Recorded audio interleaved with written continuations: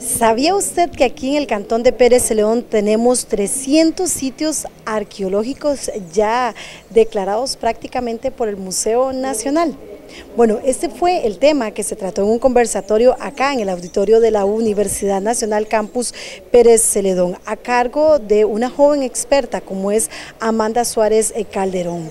Y es que la iniciativa por parte de la Asociación Pro Reactivación de Pérez Celedón lo que busca es informar a toda la ciudadanía de estos diferentes sitios, cómo se trabajan, cómo se deben cuidar y bueno, lo importante en este caso también era aclarar algunas dudas con respecto a las propiedades. ¿Qué pasa si donde yo vivo existe uno de estos sitios o descubrimos algunos artículos que forman parte también de la arqueología nacional y que se convierten en gran cultura. Bueno, eso fueron parte de los temas también que se trataron. La actividad contó también con el apoyo del Centro de Arte y Cultura de la Universidad Nacional y también lo que fue propiamente la Cámara de Turismo del Distrito de Páramo. Escuchemos aquí lo que nos indica propiamente la presidenta de la Azoreactivación.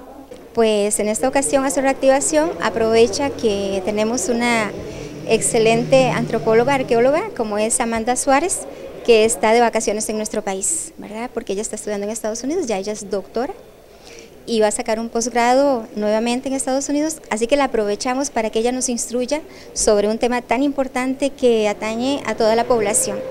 Eh, hoy vamos a tener varios estudiantes universitarios, también de colegio, más el público, y hemos querido también enfocarlo hacia el sector de turismo rural, comunitario también, porque en muchas de nuestras fincas y de las fincas de estas personas que hacen turismo y que reciben público, hay muchísimos petroglifos, por ejemplo, y a veces no tenemos la información exacta para poder explotarlos y al mismo tiempo cuidar nuestro patrimonio. Y como les mencionaba, una experta en la materia vecina del cantón de Pérez León, quien se encuentra estudiando en el extranjero, fue la encargada de brindar todos estos datos importantes. Acá les contamos algunos detalles propiamente de esos 300 sitios y dónde se ubican algunos de los más importantes. Hay alrededor de 300 sitios arqueológicos reportados en Pérez León.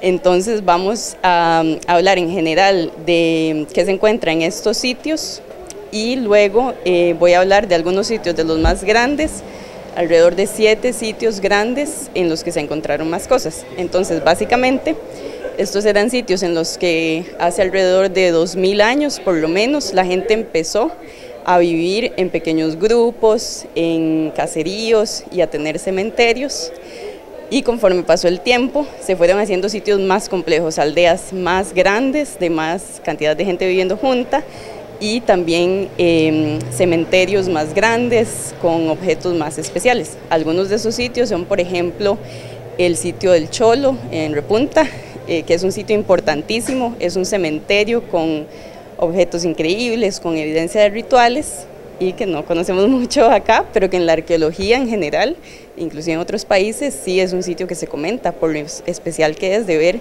este tipo de rituales ceremoniales en una aldea de hace más de mil años. Y la mayoría de los sitios andan alrededor de mil años de antigüedad.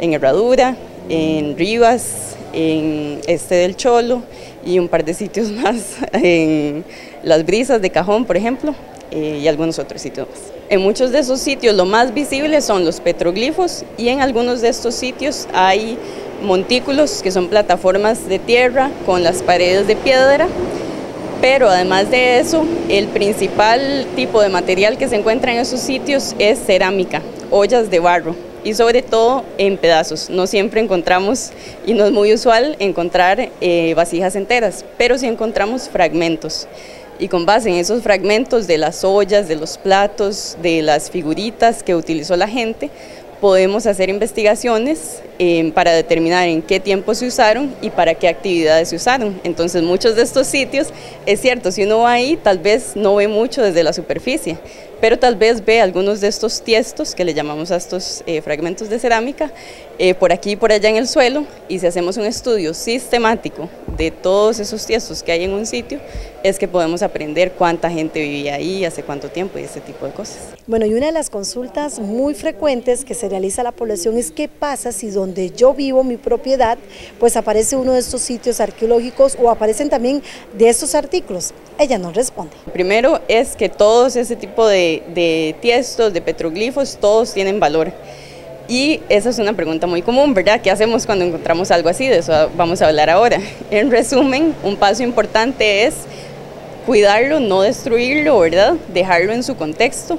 Y también podemos contactar al Departamento de Protección del Patrimonio del Museo Nacional y ellos lo que hacen es visitar el sitio y registrarlo. Y un punto muy importante es que antes había un temor de que si aparecía algo así a uno le iban a quitar la tierra o algo por el estilo. Eso nunca ha pasado y eso no va a pasar. Lo importante es que lo registremos, que sepamos que la comunidad eh, local y la comunidad científica sepan que ahí hay restos para que tal vez podamos hacer una investigación a futuro o para que podamos conservar ese patrimonio. Lo único que es importante, digamos, que no se puede hacer con este tipo de patrimonio es venderlo o comprarlo, porque es un bien público, es propiedad de todos. Pero más allá de eso, pues conservarlo y asegurarnos de que exista el registro oficial de que ahí hay un sitio arqueológico. La intención de la Asociación de Reactivación de Pérez Celedón es trabajar también de la mano con un comité que se estaría integrando para eh, que se analice todo este tipo de información y por supuesto que se le dé seguimiento también para que se aproveche todos estos lugares de una manera eh, de turismo también y que a la vez se permita generar recursos económicos para la población. Así que son temas importantes a los cuales esta organización en conjunto con otras pues les estarán dando el seguimiento correspondiente. En cámara Alan Cascante les habla Carmen Picado Navarro en TV Sur Noticias.